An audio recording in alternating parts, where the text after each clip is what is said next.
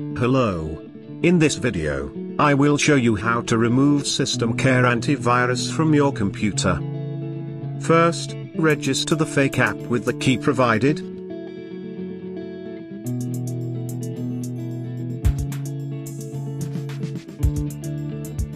Close all windows and open your internet browser.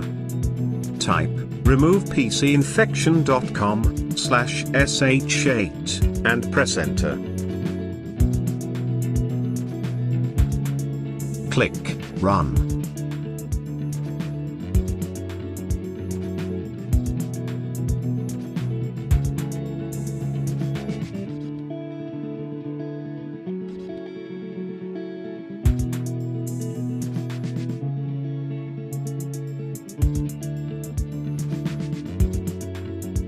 SpyHunter will automatically download the latest definition updates to make sure the virus is properly removed.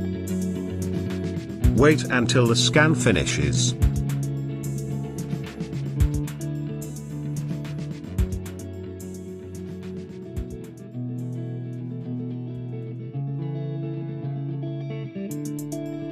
System Care antivirus has been detected. Once you register SpyHunter, click Fix Threats button to remove the infection. Thanks for watching.